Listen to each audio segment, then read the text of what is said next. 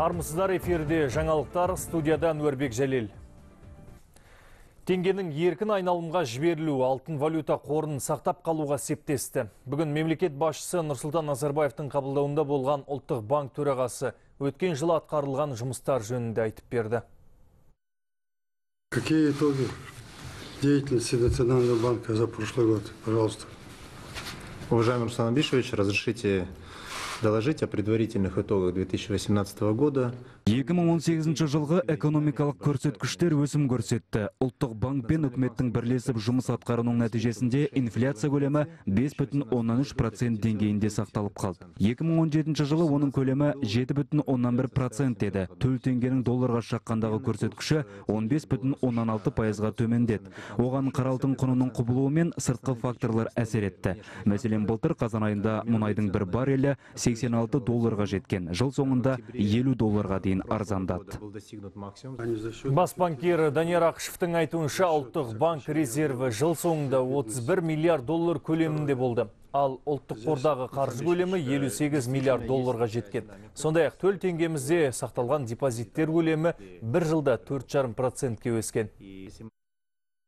Есть два важных вопроса, которые я хочу задать. Инфляция 5,3% хорошо. Но это достигается за счет сокращения объема ликвидности на рынке, а не за счет эффективности экономики. С правительством вы совместно плохо работаете. Изымая деньги из оборота, можно снижать еще дальше, но это как скажется на экономике? Второе. Здесь э, в отчете сказано, что кредитование увеличивается, но кредитование долгосрочных кредитов уменьшается. Как можно ответить на эти вопросы? Руслан Абишевич, э, действительно есть такая динамика. Шынында мұндай динамика бар. Кредиттеу бойынша бізге берген тапсырмаңызды қазір үкіметпен бірлесіп орындап жатырмыз. Былтыр әлеуеті төмен ойыншыларды нарықтан шығарғанбыз. Осының арқасында кредиттеу портфелінің көлемі 7 пайызға өсім көрсетті. Қаржы секторын оңалту арқылы басқа ойыншыларға мүмкіндік беріп отырмыз. Бұл экономиканың дамуына ықпалдасуы керек. Кредитный год. Ұлттық банк төрағасының болжамы бойынша 2019 жылы несие көлемі 10%ке ұлғаяды, әрі ол көпшілікке қол жетімді болмақ.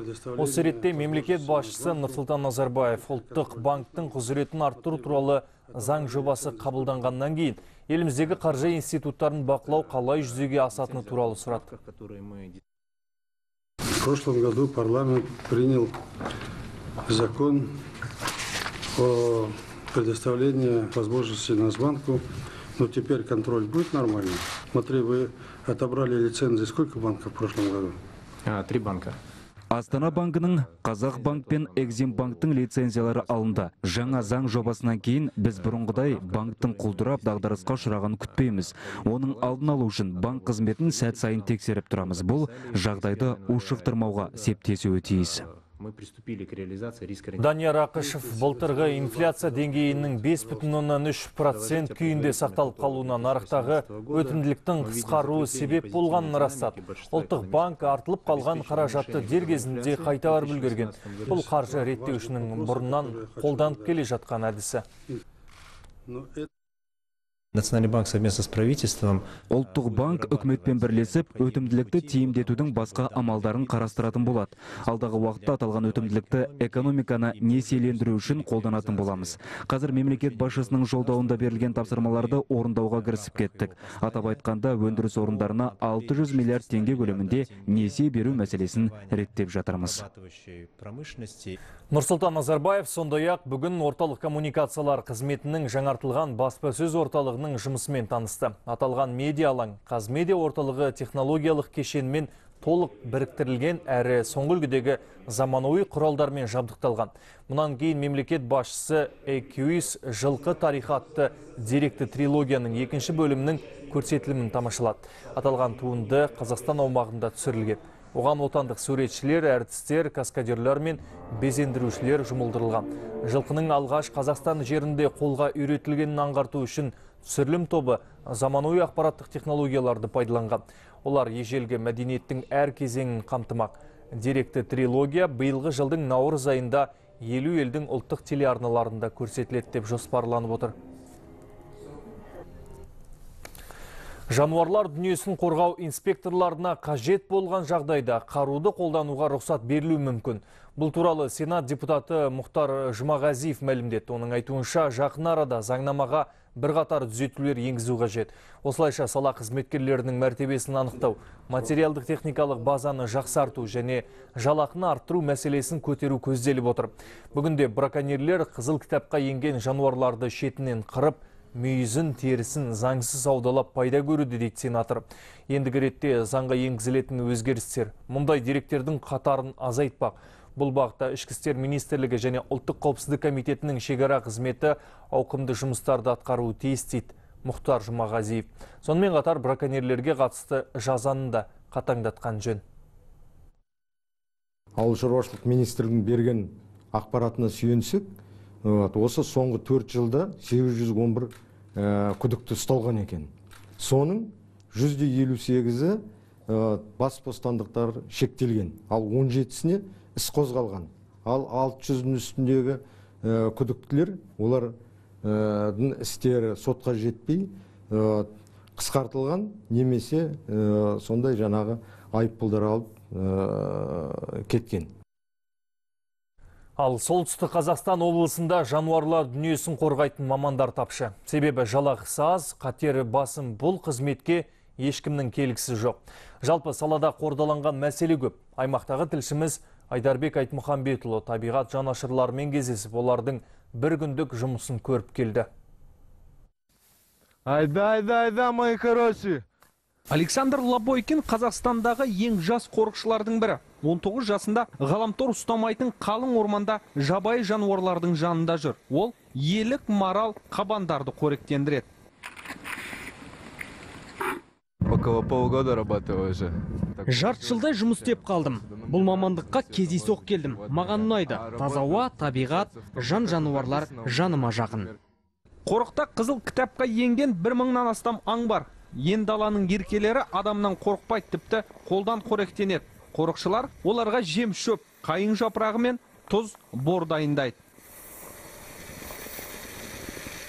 Оларды табиғат жанашырлары дейді. Шынымен атына зат сай адамдар. Қорықшылар жабай жануарға қару түгілі қолда көтермейді. Этот домик уже, можно сказать, как второй дом. Большую часть времени здесь находимся. Түс тағыларына бес қорықшы қарайды. Олар ормандағы үйде тұрады. Өздері тамақ пісіріп кір жуады. Сенбі жексенбі үйге барады. Қалған күндері осында. Евгений Цариктің осылай адал қызмет етіп жүргеніне 13 жыл болды. Борщ готовим, пельмени готовим, картошку жарим. борщ тұшпара әзірлейміз картоп қуырамыз арасында сорпа жігіттер компот кеселді де пісіреді біреудің туған күні болса ерекше тамақ дайындаймыз күнделікті өмір осы Табиғат тыныштығын сайын далада сауық құратын сұғанақтар бұзады. Николай Гусельников браконьерлермен бірнеше рет бетпе-бет келді. Атысты да, арпалысты да. Соңғы рет алты маралды аяусыз атқандар ұсталды. Браконьеры вооружены до зубов. браконьерлердің бес қаруы сай жол талғамайтын тегеурінді техникамен жүреді сондықтан оларды ұстау оңай емес тағы бір мәселе маман тапшы біздің қызметке көбі қызықпайды Биыл қорыққа 100 миллион теңге бөлінді. Оған аумақ қоршалып, техникалар сатып алынады. Сонымен қатар мамандар маралдың қанын жаңартпақ. Солтүстік Қазақстаннан Айдарбек Айтмұхамбетұлы Руслан Алиев, Хабар 24. Қазақстанда құмар ойындардың шырмауына 350 мыңдай адам ілігіп отыр. Жеңіл табысқа құныққан азаматтар ұтылған ақшасын қайтарымын деп соңғы 4 жылда 234 қылмыс жасаған екен. Оның ішінде қарақшылық шабуыл мен тонау бар. Оңдырмаған ойын құмарлықпен күресу үшін Нұр Отан партиясы қоғам мен мемлекет арасында ашық диалог құру туралы бастама көтерді. Бүгін осы мәселеге байланысты мемлекеттік органдар, қоғамдық институттар өкілдері мен сарапшылар бір үстел басына жиналып өз ұсыныстарымен бөлісті. Как быстро достать тысячу рублей? Очень просто. Ты можешь гулять с чужими собаками, попросить в долг и не отдавать, прикинуться бедным, стать донором. жарнамасы жер жарған казино лото һәм букмекерлік кеңселер оңай олжаны ойлағандарды осылай еліктіреді. Заңда жұмыс істейтіндер бар заңды елемейтіндер бар мұның бәрі жеңіл ақшаға құныққандарды ойын құмарлыққа үйір қылып отыр. Есесіне бұлардың табысы жаман емес. У одного Олимпа. Бір ғана олимп букмекерлік кеңсесінің бір жылдық ақша айналымы 200-250 миллиард теңгені құрайды. Бұл әрине расталмаған ақпарат. Бірақ бұлардың жылдық табысы шамамен осындай. Ал құмар ойындардың шырмауына бүгінде 350 мыңдай адам ілігіп отыр. Қазіргі уақытта Қазақстанда ойын бизнесі саласында 85 лицензия беріліпті. Оның 12-сі казино, 43-і букмекерлік кеңсе, 15-і ойын автоматы, тағы 15-і тотализатор. И макака поймала банан. Сегодня я гуляю, и бабки не влазят в карман. Дүниежүзілік денсаулық сақтау ұйымы ойын құмарлықты аурулар тізіміне енгізген. Осындай дертке шалдыққандардың бірі Жанар Мушанованың баласы. Бүгін бұл келіншек Нұр Отан партиясы ұйымдастырған дөңгелек үстелге проблемасымен бөлісейін деп келді. Жұрт салдарын білсін, бұдан сабақ алсын деген ниетпен. Ойын құмарлық отбасымның ойранын шығарды деп налиды бол. Но так как это Бұл дерт отбасының шаңырағын шайқалтқаннан кейін мен осында келіп ел алдында сөз сөйлеуге бел будым. Өйткені мен еліміздің ойын құмарлардан ада мемлекет болған қалаймын. Қазақстандық жастар тек спорттық аулалық клубтарға барса екен деймін. Поднял бабла, а я вчера, а я позавчера. Ойын құмарлық оңдырмайды. Қазақстандық ойыншының орташа қаразы 10 миллион теңге шамасында екен. Құмарпаздыққа тәуелді азаматтар отылған ақшасын қайтару үшін амалсыздан заңсыз айла іздейді. Ал бұлар үшін тығырықтан шығар жол біреу. За последние 4 года соңғы төрт жылда ойын мекемелеріне қарсы 234 қылмыс жасалды оның 81-і қарақшылық шабуыл 153-і тонау ал жыл басынан бері осындай алты қылмыс тіркелді Қазір мәжілістің қарауына ойын бизнесіне қатысты жаңа заң жобасы түсті. Бұл құжат көлеңкелі іспен күресіп, букмекерлік қызметті реттеуге мүмкіндік бермек. Букмекерских контор и тотализаторов. Сайттарды бұғаттау тәртібін жеңілдету керек. Өйткені бүгінде бір интернет ресурсты жабу үшін екі ай қажет. Ал бір күнде онлайн казиноның 30-ын ашып шығаруға болады. Сондай-ақ ойын бизнесін жарнамалауға шектеу енгізген жөн. Бүгінгі алқалы жиынға жиналғандар букмекерлік кеңселердің маңынан ломбардтарды алып тастау, кез келген заңды бұзған құмарлық ойын мекемесінен лицензияны тартып алу секілді ұсыныстар айтты. Елордасы Астанадан Жасы Біркенов және Наурыз Базаров, Хабар 24. Ауруханаға көмек сұрап келген науқас дәрігерлердің қателігінен көз жұмды. Алматы облыстық қоғамдық денсаулық сақтау департаменті адам өліміне қатысты тексеру тағайындады. Департамент қызметкерлер оған алдағы дүйсенбіден бастап кіріседі. Толғырақ тілші бейнематериалында. Естеріңізге сала кетейік 11 желтоқсан күні Талдықорғандағы облыстық ауруханаға өз аяғымен келген Анархан Қырғызбаева арада тұп-тура бір ай өткен соң жұмбақ жағдайда көз жұмды. Артынша аталған медицина мекемесіндегі дәрігерлердің қаны үшінші топтағы науқасқа гемоглобині түсіп кеткен деп бір емес бірнеше рет төртінші топтың қанын құйып жібергені белгілі болды. үшінші группаға төртінші группа қан құйыпты төрт рет құйылған екен бізді мына кісілер алдап жүрген дәрігерлер алдап жүрген бізді біз енді арызданып жатырмыз сотқа арыздандық прокуратураға арыздандық. Сол бол- бол- болған оқиға. Шешемізді мыналар нақты өлтіріп тастаған басқа қан құйған енді төрт рет құйып тастаған ғой басқа қан жалған документ жасаған. Анархан Қырғызбаеваның балалары облыстық қан құю орталығынан алған құжаттарда бұл деректер тайға таңба басқандай көрсетілген. Міне осылайша ай аманында біліксіз дәрігерлер жасаған қателік салдарынан қазақтың тағы бір шаңырағы қара жамылды. Облыстық денсаулық сақтау басқармасындағылар қазір осы оқиғаға байланысты комиссия құрылып, жұмыс істеп жатқанын айтты. 1947 жылғы пациентка ә, көз жұмды сол мәселе туралы сол жағдай туралы комиссия құрылды комиссия жұмысын атқарып жатыр Ал сіз ана қателік жасаған Рахмет. не қылған жоқсыздар ма? Қандай шара қолданылады оларға?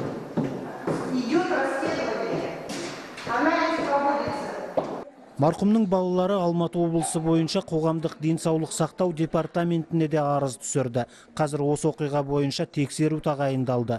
Тексеру жұмыстары алдағы дүйсенбіден бастап жүргізіледі. жалобыдағы айтылған мән жайдың бәрін анықтаймыз ғой шын мәнісінде қандай қан құйылды кім құйды оны неге дұрыс анықтамады одан кейін мүмкін ол оның алдында тағы да басқа бір жерлерде жатты ма екен?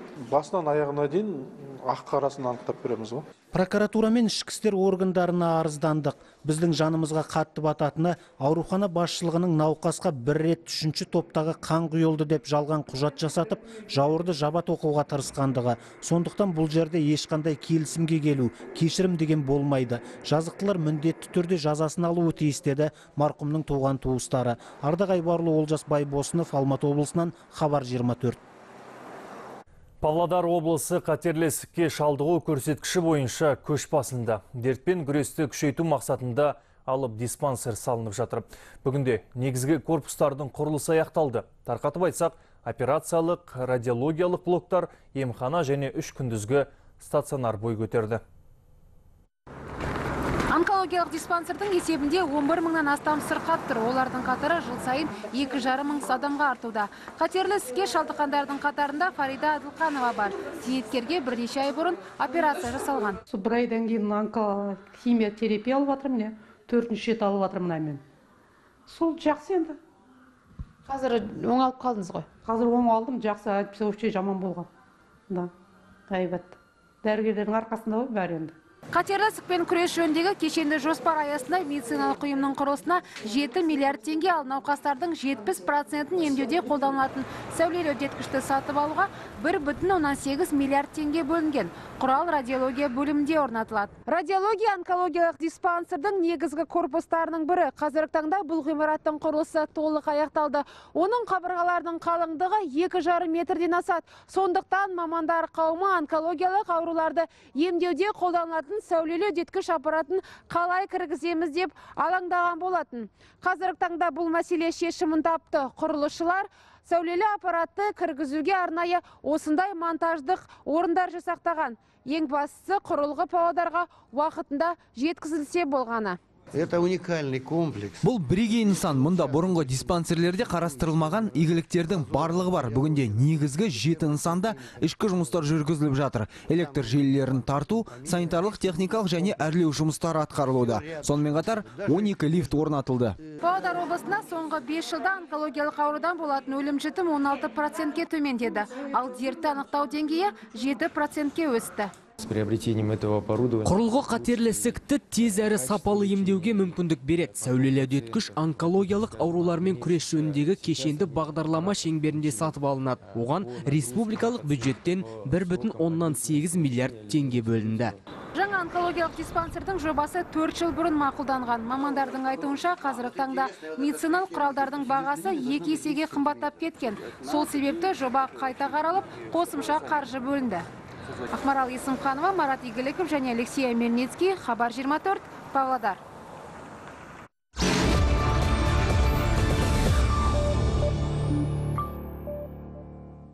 Бүгін Алматыдағы достық үйінде мемлекеттік хатшы Гүлшара Абдықалықова мәдениет және өнер қайраткерлеріне елбасының 2018 жылғы мәдениет саласындағы мемлекеттік стипендиясын табыс етті. 577 мың теңге көлеміндегі сыйақыға әдебиет, кино және театр, музыка саласында шығармашылық жетістікке жеткен 75 адам ие болды. Олардың қатарында Асанәлі Әшімов, Мырзатай Жолдасбеков, Бибігүл Төлегенова сынды мәдениет және әдебиет майталмандарымен қатар Самал Еслямова, Аян Өтепберген, Анар Әбжанова сияқты жас буын өкілдері де бар. Гүлшара Абдықалықова салтанатты рәсімге қатысушыларды құттықтап, мемлекеттік стипендияның тапсырылуы еліміздің мәдениетін дамытуға қосқан елеулі үлестеріне берілген жоғары екенін жеткізді. Мен үшін үлкен бақыт және де жауапкершілік. Үлкен жауапкершілік 2019 жылы қазақ жастарына қазақ елін әлемге танытуға кез келген саласында өзін өзі көрсетуге жалпы дамытуға мүмкін үлкен мүмкіншілік туып отыр. Сондықтан не деймін жастарға іске сәт жылымыз құтты болсын. Астана қаласының әкімдігі жұмысшы жастар мен жас отбасыларды баспанамен қамтудың тиімді механизмін әзірлеуге кірісті. Бұл туралы жастар ісі жөніндегі кеңес отырысында қала әкімі Бақыт Сұлтанов мәлімдеді. Оның айтуынша мәселе негізінен тұрғын үй жинақ банкі 7-20-25 нұрлы жер сияқты мемлекеттік бағдарламалардың көмегімен шешілмек. Айта кетсек, Астана халқының 20%-ке жуығы жастар. Сондай ақ жиында болашақта сұраныс артатын мамандықтар жайы да сөз болды. Шаһар басшысы алдағы уақытта қала экономикасына қажетті мамандарды даярлау үшін 100 оқу грантының бөлінетінін айтты. Бұдан бөлек жоғары оқу орындарының түлектері жайлы ақпарат жинақталған бірыңғай база құрылмақ. Бұл оларды жұмыспен қамту үшін жасалған қадам деді Бақыт Сұлтанов. елбасы өз сөзінде тәуелсіздік рухымен өсіп келе жатқан бүгінгі жас буын біздің ертеңгі үмітіміз сенімді тірегіміз деген жақсы сөздерді айтып өтті. Барша білесіздер нақты жаңа жастарға жол ашатын жақсы инструменттер де тағы да жариялап берді. Нақты үкімет пен жергілікті атқарушы органдарға тапсырмалар берілді. Соның барлығы осы айтылған сөздерді далада қалдырмай үміттер үміттердің бәрін ақтап біз енді нақты жұмысқа көшуіміз қажет Ұлыбританияда білім алып жатқан Қазақстан жастары дамудың тың жолдарын тауып, жаңа биіктерді бағындыруға әзір. Елбасы Нұрсұлтан Назарбаевтың елордадағы жиында айтқан сөзіне жігерленген болашақ бағдарламасының стипендианттары біздің лондондық тілшіміз Ғалымжан Қараманұлымен кездесіп ойларымен бөлісті. Алтынбек Сейтенов болашақ президенттік бағдарламасының стипендиаты. Қазір ол Ұлыбританияның озық оқу орындарының бірінде қаржы және ақпарат технологиялары мамандығы бойынша магистратурада оқып жатыр. Алтынбектің айтуынша жастар жылының ашылуында сөз сөйлеген Қазақстан президенті Нұрсұлтан Назарбаев өскелең ұрпаққа қатысты ең өзекті мәселелерді қозғады. Мне очень понравилось, как наш президент Нұрсұлтан Маған елбасы Нұрсұлтан Назарбаевтың білім сапасы жайлы айтқаны ерекше ұнады. Шынымен де Қазақстандағы оқу орындарының білім беру сапасы өте жоғары болуы керек. Қазір тек диплом иесі болып қана қоймай, сын тегеруіндерге дайын, сұранысқа ие маман бола білу керек. Өз басым магистратурамды аяқтаған соң Қазақстанда бәсекеге қабілетті IT маман болғым келеді. Менің үлкен арманым Астана халықаралық қаржы орталығында жұмыс істеу. Айта кету керек президент өз сөзінде болашақ бағдарламасын ел үшін ең қиын кезеңде қабылданған дұрыс шешім деп бағалады. Қаржы тапшылығына қарамастан Қазақстан аяғына тұра бастаған жылдары жастарды әлемнің ең үздік оқу орындарына, олардың қатарында Тұманды Альбион да бар, жіберіп отырды. Білім беру саласындағы британиялық сарапшылар болашақты білім импортының тиімділігін дәлелдеген Қазақстан бренді деп отыр. Мен болашақ бағдарламасымен таныспын. Қазақстанда жұмыс істеп, Астанада талай болдым. Көбіне кәсіби салада мамандандым. Қазір мойындауымыз керек, елдеріңіз болашақта Қазақстан және бүкіл аймақ алдында тұратын сындардан алып шығатын жастарды тәрбиелеу үстінде. Ол үшін студенттерді шетелдің ең үздік университеттерінде оқытып, мүмкіндіктерін арттырып жатыр. 1993 жылдан бері халықаралық деңгейде білім алуға 14 мың жасқа мүмкіндік берілді. Олардың көпшілігі жоғары білікті маман болып үлгерді. Түлектер жүздеген ғылыми зерттеулер мен жобаларды өмірдің барлық салалары бойынша жүзеге асырып келеді. Ғалымжан Қараманұлы, Бейбіт Мәдиұлы, Ұлыбритания, арнайы хабар 24 үшін. Еліміздегі ең жас көп балалы батыр ана Жазира Тұрғынованың отбасы баспаналы болды. Бүгін Түркістан облысының әкімі Жансейіт Түймебаев жеті балалы жанұяны арнайы қабылдады. Кездесуде өңір басшысы батыр анаға Төлеби ауданы Ленгір қаласынан төрт бөлмелі пәтердің кілтін және балаларға қыстық жылы киімдер табыстады. Жаңа баспана жылы ә, жылы әрі жайлы және тұрмысқа қажетті барлық жиһазбен қамтылған. Сонымен бірге Жазираның қосымша мамандығы алып, жолдасының да өзінің де жұмысқа орналасуына жағдай жасалатын болды. Жазира Тұрғынова 27 жасында жеті баланы дүниеге әкелген. Оның үшеуі қыз, төртеуі ұл. Үлкені 11-де, ал кішісі Алихан бір жасқа енді толады. Айта кетейік, жақында ғана Жазира Тұрғынова елордада өткен жастар форумына қатысып, елбасымен кездесіп, батасын алып қайтқан болатын. Жалпы бүгінде облыста 134 мыңнан астам көп балалы ана бар. Оның 51 мыңнан астамы алтын алқа және күміс алқа егерлері.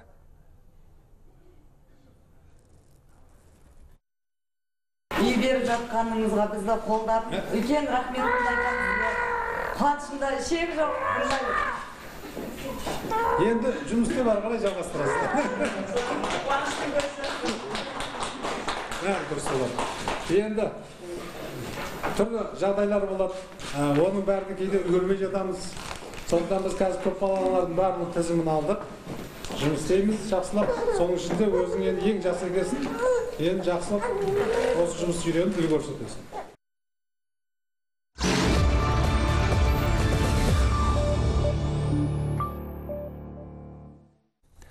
Маңғыстау облысында 34 адам бір пайызбен несие алып шаруасын дөңгелетіп отыр. Сәйкесінше 400-ге жуық жаңа жұмыс орны ашылған. Тағы 10 кәсіпкерге қажет қаражат жуық арада беріледі. Бұл өңірлік Нұр Капитал пилоттық бағдарламасының жемісі. Шалғай өңірдің тұрғыны банктен 30 миллион теңгеге дейін берешек қаржы ала алады. Ал бұл жердегі жылдық мөлшерлеме 8,5 пайыздан аспайды. Оның 7,5 пайызын жергілікті бюджет субсидиялайды. Қалған сомасын кәсіпкер жеті жылда еркін өтеп шығады. Ауыл бизнесін дамытуға бағытталған игі бастама туралы тілшіміз Талғат Исламұлы әңгімелейді. мында қойып маңдайыңызды тақап отырасыз қазір бұл кезде тексеріп аламыз ішінде жасыл свет жанып тұрса қарасаңыз болғаны Бұл басқұдықта былтыр ашылған жекеменшік медицина орталығы 22 дәрігер бір ауысымда 60-70 адамды қабылдайды. Озық үлгідегі құрал жабдықтың жоқтығы оларға қол бойлау болып келді. Сатып алуға қомақты қаржы керек. Ауыл кәсіпкері пилоттық жобаға қатысқалы жағдай өзгерген. Орталықта көз, құлақ, мұрын дертін емдеумен ультра дыбыстық зерттеу кабинеті ашылды. Мұнда емдік шаралар тегін жүреді. Тұрғындарға медициналық көмек көрсету үшін, яғни сапалы медициналық көмек көрсету үшін Маңғыстау облысы дағы нұр капитал жобасына қатыстық. Бұл нұр капитал жобасынан біз 30 миллион қаржылай қолдау алдық. Кәсіпкер үшін өте жеңіл. Яғни 5 жыл бойы бір ғана пайызбен нұр капитал жобасы болмаған жағдайда біз мүмкін қазіргі таңда бұндай қызметті түрлерін көрсетпеуіміз де мүмкін.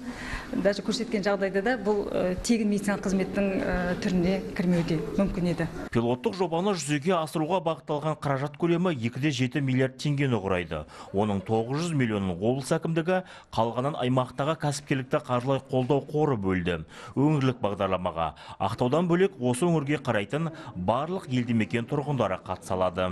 2018 жылғы бұл бағдарлама қорытындысы бойынша екінші деңгейлі банктерде 44 жоба 845 миллионға мақұлданды. Соның ішінде 77 пайызы яғни ол 34 жоба бүгінгі таңда уже қаржы алып отыр. Өндіріс саласында денсаулық сақтау саласында және ауыл шаруашылығы саласында мақұлданып отыр. Бұл бағдарламаға тек қана ауыл кәсіпкерлері ауданда орналасқан өз жобаларын аудандарда және жаңаөзен қаласында жүзеге асыратын кәсіпкерлер ғана қатыса алады. Қазақ елі тарихында ауыл кәсіпкеріне бар жоғы бір пайызбен несие беретін пилоттық бағдарлама Маңғыстау облысында былтыр басталды. Бүгінге дейін бес аудан мен Жаңаөзенде түсіндірме жұмыстары кең көлемде жүргізілді.